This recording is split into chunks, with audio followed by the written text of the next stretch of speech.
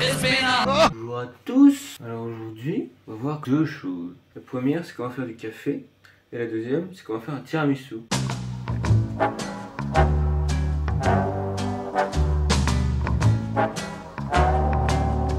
Pour ce faire, il vous faut une cafetière, une petite tasse, une cuillère à café, une bouilloire et éventuellement du café noir, arabica. Vous calculez au préalable combien ça fait en cuillère.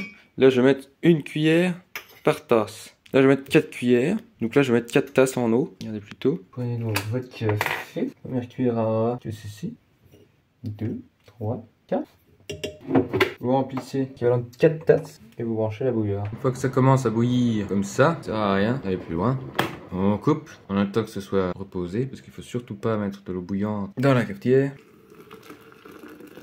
Une fois que vous avez touillé, on attend 5 minutes.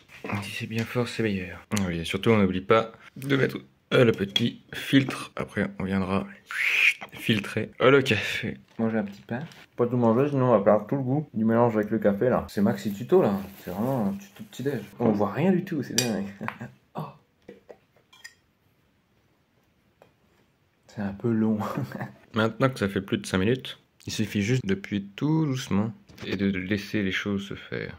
Il faut aller tout doucement, sinon il y a des risques que ça explose quoi. Ensuite, tout simplement, vous pouvez verser votre café et déguster votre petit déj de roi, de king.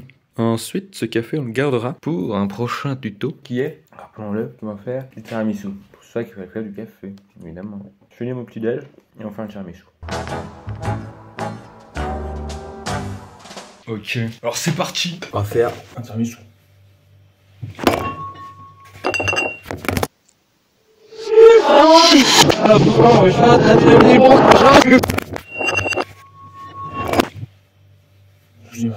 Frappe. Ich habe es halt nicht, ne?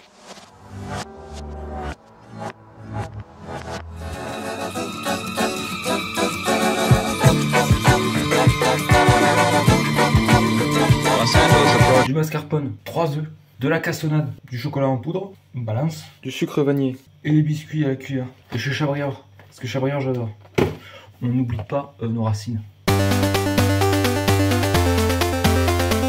Étape numéro 1, séparer les jaunes et les blancs des œufs. Mélanger les jaunes avec les 100 g de casseau. Ensuite, incorporer le mascarpone avec le sucre vanillé. Tout ça ah, avec le fouet. Oh putain. Ensuite, avec le même fouet, on bat les œufs, les blancs en neige. Et ensuite, on incorpore le tout. Et voilà. Alors du coup, pour l'étape 1, séparer les blancs et les jaunes. Étape 1, se laver les mains, évidemment. Donc, étape 1, les blancs et les jaunes. Et hop là, on sépare bien. Les jaunes, les blancs. Eh mais c'est une vraie recette que je fais là. Et les jaunes, on le met dans l'autre plat. Pareil pour les deux autres.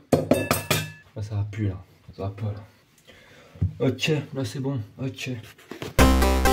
Ici on a nos jaunes, ici on a nos blancs. On met un peu de sel pour pouvoir les monter en neige. Paraît que ça aide. Ici.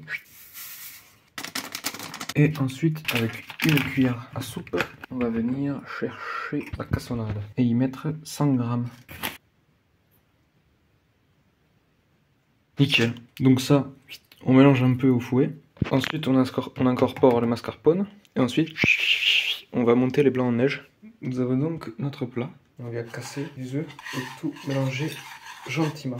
Une fois que notre pâte est comme cela, on y incorpore le mascarpone. Il faut y aller petit à petit. Ensuite au fouet, on vient l'assimiler. Et ainsi de suite, jusqu'à temps qu'il n'y ait plus du tout de mascarpone dans le pot de mascarpone. Voilà. Une fois que votre mixture est faite, vous vous laissez ainsi et vous pouvez vous attaquer à monter les blancs en neige. Qui est sans hésiter la partie la plus physique, la plus compliquée de cette euh, recette. Bon, évidemment, si vous avez un mixeur, ce sera beaucoup plus simple, mais vous pouvez le constater, je n'ai qu'un fouet.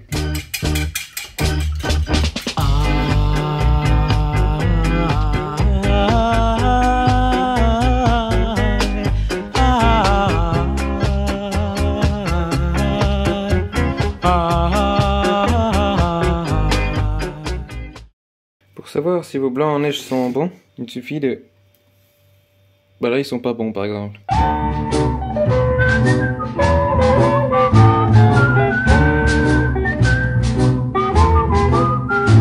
Ainsi, vos blancs en neige sont bons quand ils tiennent comme ceci.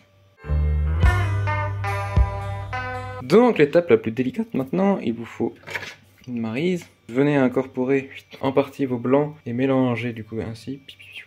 Euh, vous allez voir. Vous prenez un peu de blanc que vous venez mettre dedans. Et ensuite, vous venez chercher la pâte et recouvrir doucement en faisant des gestes qui tournent. Voilà, et ensuite vous faites ça pour tout, tout, tout, tout, tout. Tout, tout, tout.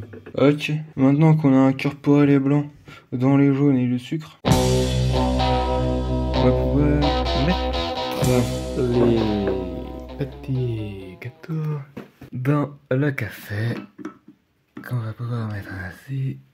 Hop là. Hop là. Voilà, vous prenez un biscuit à la cuillère, vous le trempez dans le café et vous le mettez au fond du plat. Une fois que tout le plat est fait, tout le fond du plat, vous donc tapissez tout le dessus des gâteaux à la cuillère.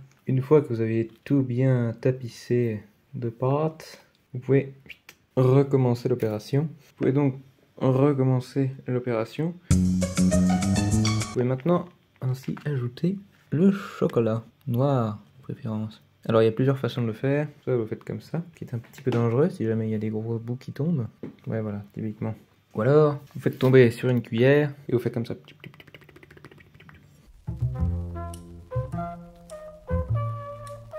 Fois que le tiramisu ressemble à ça, bon, un peu froid de choco, mais il est ça va. Vous mettez un torchon au-dessus, je disais comme ceci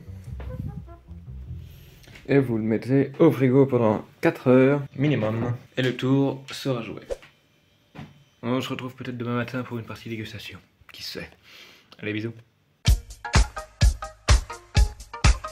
Salut, bah, ça y est, on peut passer à la partie dégustation. Oui, pour être honnête avec vous, euh, j'ai déjà dégusté hier soir. Voilà. Ça c'est un gâteau. Ça c'est quoi? Ça c'est une cuillère. Bah écoutez, c'est très bon. Voilà, moi je vous dis à plus. J'espère que ça vous a plu. Un gros bisous, à plus.